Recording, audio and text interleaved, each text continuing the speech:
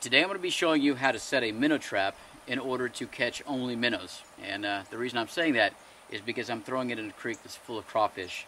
Now this is a G40 Gees minnow trap and it's specifically designed fine mesh to catch only minnows. But I'm telling you, if you throw it down in these environments that have lots of crawfish, you're going to catch them. And uh, we do quite often.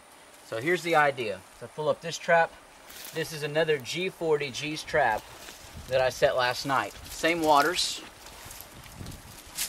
and it's completely full of crawfish. You'll notice a lack of perch and minnows in there.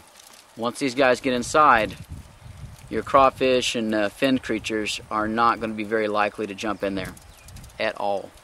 So sometimes we want to catch the crawfish, depends on what kind of fishing you're doing. This method will show you how to catch the minnows and only the minnows. Now this is going to be a floating method. So take your trap, that works out. You're gonna need two other things. First off, a water bottle. And uh, recycle, this is one of your Ozarka or Dasani water bottles. Uh, play around with the size of them, a little bit smaller, a little bit bigger. It all depends on uh, how deep or how high you want this trap to set in the water whenever it's floating around. I'm gonna go ahead and put this bottle inside. Unclip it. Throw your bait in there if you're ready to set it out and clip it back again. And you're not really going to have to worry about uh, affixing the bottle anywhere. You can float around. Usually on the placement, it'll uh, go exactly where it needs to go and keep your trap centered. Uh, the other thing I'm going to do is that if you're throwing this out into a creek or a stream or even with the wind blowing, you can have the issue of the, the trap actually floating around. And at some point or another, it's going to float up against uh, one of your banks. And at that time, the crawfish are going to be able to get to it. So what I usually use is a, a scrap or a lead weight. I've got an old hex bolt that's uh, wallowed out. So I'm going to reuse it a little bit. Throw a lark's head through it. I've got about two foot of line on it. Depends on how deep your creek is or, or whatever water you're using. And I'm fixing that weight there so it doesn't slide. And the idea is that as I throw that out there, wherever that weight falls, unless I have some really strong winds, it ought to keep this trap from floating too far away from it. So toss it out.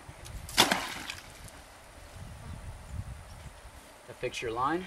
Make sure that you're staying within your uh, federal and local laws. So we tag these and we put our information on them. Check them often. Uh, every two, three hours come back and check it.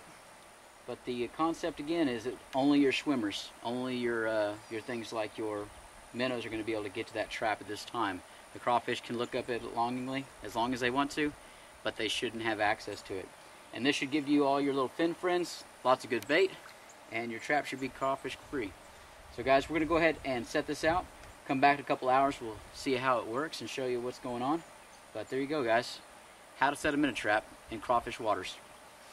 I Almost forgot guys, before you set this thing out, make sure you got bait in it.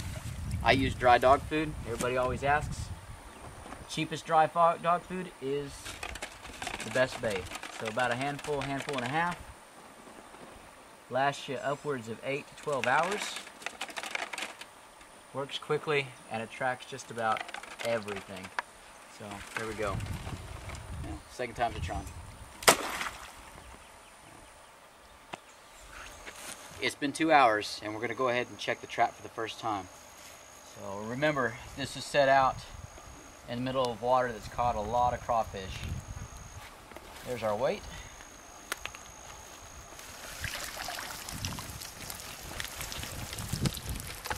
You can't really see them yet, but you can definitely hear them. That is a lot of minnows. Shake them into one side. Oh, heck yes. There you go, guys. That ought to be enough bait to do something. That's two hours, not a single crawfish. And again, you're in the exact same spot as this other trap. Same trap, same place, catching distinctly different things. So, alright. Hello group.